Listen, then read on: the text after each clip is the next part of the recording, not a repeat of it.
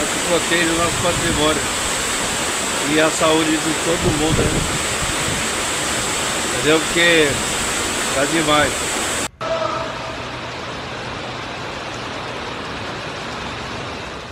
The city of Guarulhos in Sao Paulo, Brazil, has been overwhelmed by catastrophic floods caused by unprecedented rainfall.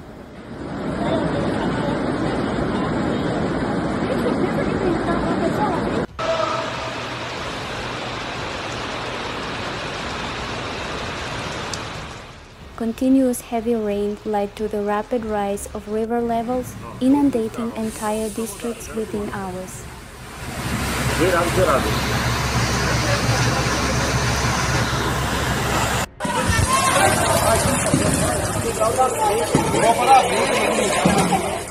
Thousands of residents were caught off guard as their homes were quickly flooded, forcing many to seek refuge on rooftops.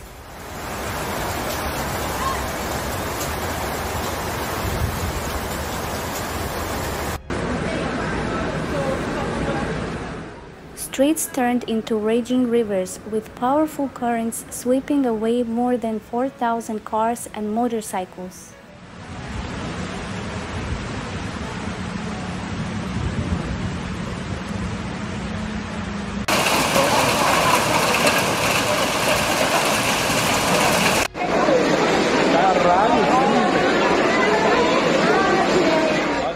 Buildings, including shops and offices, were heavily damaged, with windows shattered and lower floors submerged. De pé aqui em cima do banco aqui, ó. A salinha aqui tá toda cheia de água.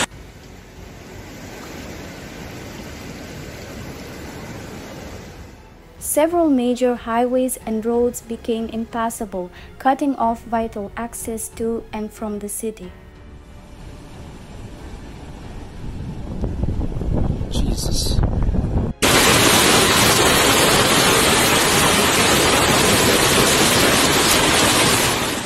The floodwaters caused multiple landslides in nearby hills, destroying homes and blocking rescue efforts.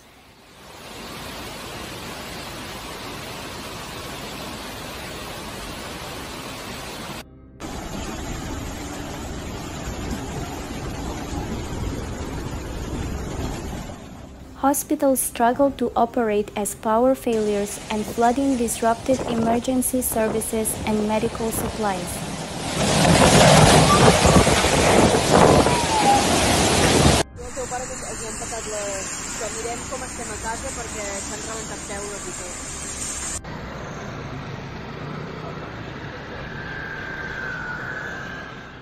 Rescue teams used inflatable boats and helicopters to evacuate families stranded by the fast rising waters. Oh, yara.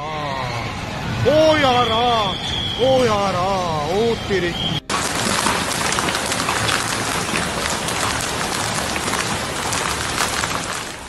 Over 7,000 people were evacuated from their homes and relocated to temporary shelters in public buildings.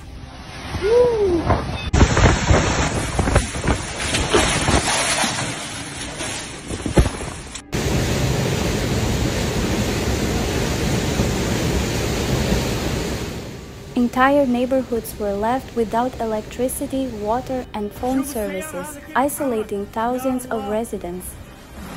يا الله الله يستر الله يستر الله يستر دحين يجيبوا على هنا السيول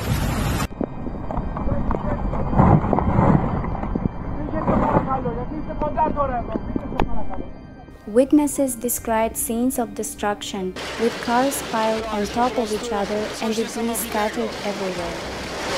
Nie wiem co powiedzieć. Po prostu nie wiem co powiedzieć.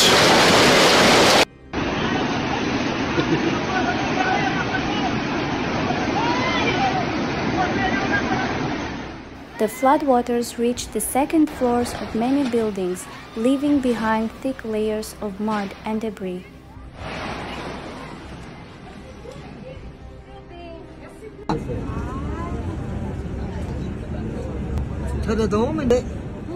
Schools and daycare centers were closed indefinitely due to severe damage and unsafe conditions.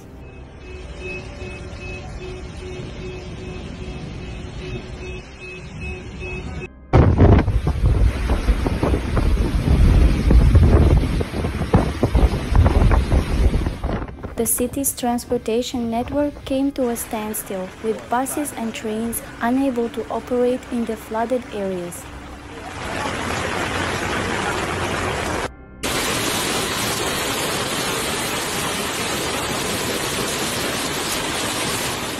Local authorities issued urgent warnings, advising residents to stay indoors and avoid flooded streets.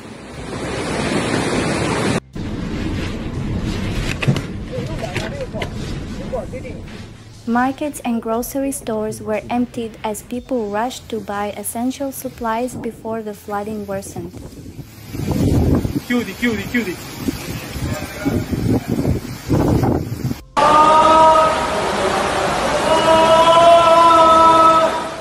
Volunteers and emergency workers distributed food, drinking water, and blankets to those in temporary shelters.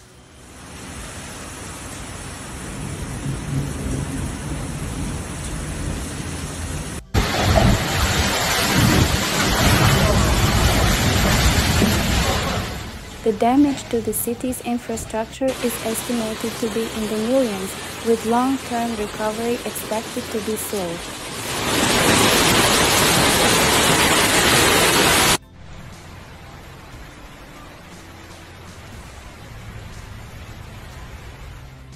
Business owners reported significant losses as shops and warehouses were destroyed by the floodwaters.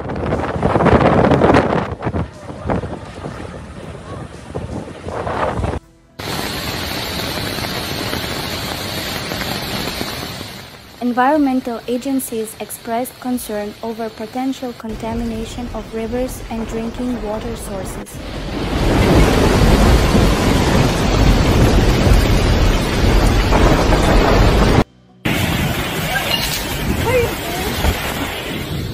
Many families returned to their homes only to find them completely destroyed or filled with mud and debris.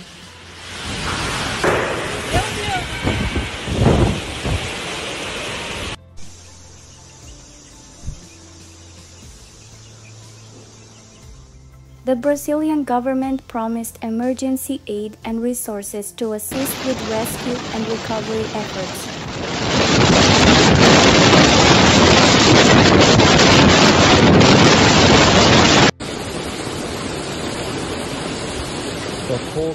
Despite the devastation, communities came together to support one another during the aftermath of the flooding.